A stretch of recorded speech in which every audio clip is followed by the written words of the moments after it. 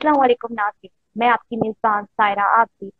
Haider TV की जानिब से उन्वान सिरात मुस्तकीम को लेकर आपके सामने हाजिर आज हमारे साथ जो मेहमान शख्सियत वो किसी तारुफ के मोहताज नहीं Allama Shariyar Abdi green now speaker बहुत मशहूर, मारूफ आलम दीन है, जिनको हम अमूमन देखते हैं कि ये शियों का दिफा करने के लिए बड़ा ही करारा जवाब मनफी लोगों को देते हैं। या मैं ये कहूँ कि लाजवाब कर देते हैं अपनी मुदल गुफ्तगु से।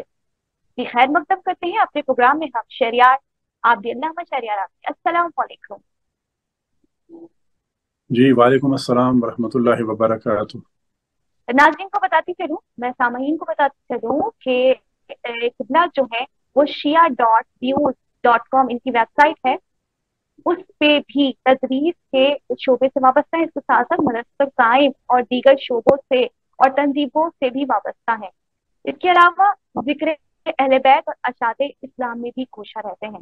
अब हम हाँ, सवालों के सिलसिले को की करते हैं।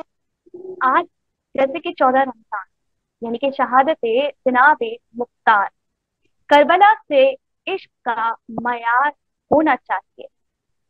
करबला से इश्क का मैार पैदा कीजिए। करबला से इश्क का मैार पैदा कीजिए। अपने अंदर शुरत मुख्तार पैदा कीजिए। ये जनाब मुख्तार, जिनकी विरादत पहली हिजरी में हुई। ये जनाब मुख्तार जो मुख्तार इबन अबी उबैदा इबन मसूद हैं, जिनका लकब किसान और पुनियत अबू इसहाक है। आई नाजरीन, हम इनके बारे में, इनकी जात के बारे में जो बहुत ही बाखूब शख्सियत है। और आज भी जनाब मुख्तार का नाम सुन के दुनिया काब जाती है, इनका तस्करा हम अपनी मेहमान शख्सियत से करते हैं। जी किबला, मेरा पहला सवाल ये है कि इनका हसब नसब क्या था? क्या अबू किसान के अलावा भी कोई और लकब और इस अबू किसान के पीछे हिकमत क्या? लोग कहते हैं अबू किसान के नाम से बाकायदा एक पूरा फिरका था। तो इस पर थोड़ी सी रोशनी डालिए।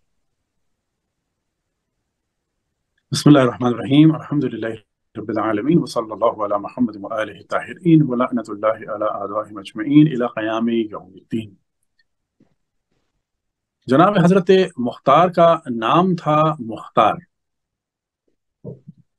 और उनकी कुन्नीत थी अबू इसहाक। और उनका मशहूर तरीन लकब था कैसान। और ये लकब दर हकीकत मौला अमीरमिन सलाम ने उनको दिया था। बेशक। और इसके माना है कि बहुत ज़्यादा अक्लमंद। लिहाजा एक दफ़ा मौला अमीरमिन सलाम ने उनको अपनी गोद में बिठाया और उनके सर पर हाथ फेर रहे थे और बार बार कहते जा रहे थे अंत सुन अंत सुन और यानी तुम बहुत अक्लमंद हो बहुत ज़्यादा शार्प माइंडेड हो। और उसके बाद जो है वो कैस से उनका लखब जो है वो किसान पड़ गया।